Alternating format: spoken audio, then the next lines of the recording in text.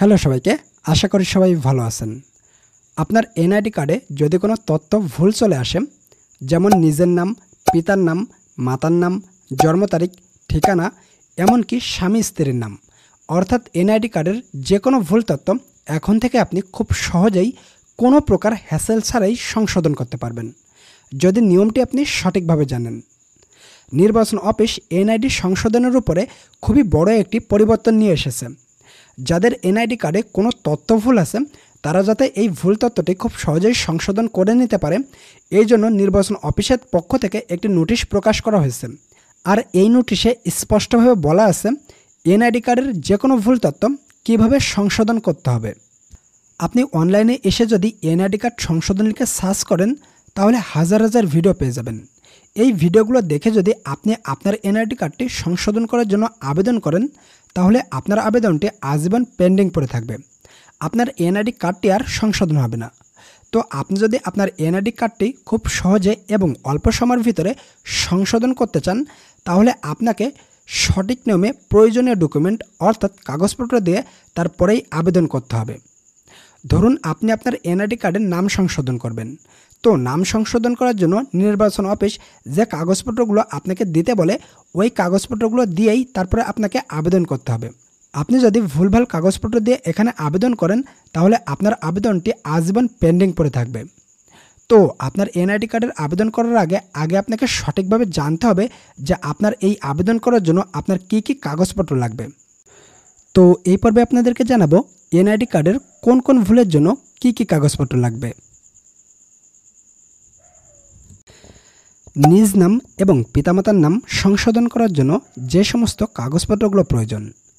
PSC GSC SSC সনদ, ছবিযুক্ত registration card প্রবেশপত্র, টিকার card যদি থাকে সার্ভিস বই পেনশন বই, নিয়োগপত্র সার্ভিস স্বাক্ষরসহ প্রত্যয়নপত্র driving licence service student ID online জন্ম নিবন্ধন সনদ এনআইডি উল্লেখসহ ওয়ারিশ সনদপত্র।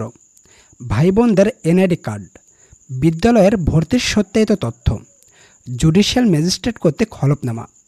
যদি আপনার নামটি একেবারেই চেঞ্জ হয়ে যায়, তাহলে এই জুডিশিয়াল ম্যাজিস্ট্রেট কর্তৃক হলফনামা দিতে হবে। বাট যদি আপনার নামের আংশিক ভুল থাকে, তাহলে এই জুডিশিয়াল ম্যাজিস্ট্রেট কর্তৃক হলফনামা না দিলেও চলবে। স্বামীর নাম, সংযোগ ও পরিবর্তনের জন্য যে সমস্ত কাগজপত্র প্রয়োজন, তালাকনামা, কাবিননামা, স্বামীর এনআইডি কার্ড, মেয়র চেয়ারম্যান এর প্রত্যয়নপত্র। শিক্ষাগত যোগ্যতা, ঠিকানা, রক্তের গ্রুপ, পেশা, ধর্ম, শিক্ষাগত যোগ্যতা ইত্যাদি পরিবর্তনের জন্য যে সমস্ত কাগজপত্র প্রয়োজন, তথ্য সংশোধনের সপক্ষে উপযুক্ত দলিল। সর্বশেষ সর্বোচ্চ শিক্ষাগত যোগ্যতা সনদ। রক্তের গ্রুপের পক্ষে প্যাথোলজিস্টের সনদপত্র।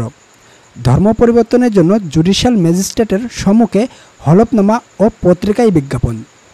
পেশার ক্ষেত্রে নিয়োগপত্র, ট্রেড লাইসেন্স ইত্যাদি প্রমাণপত্র।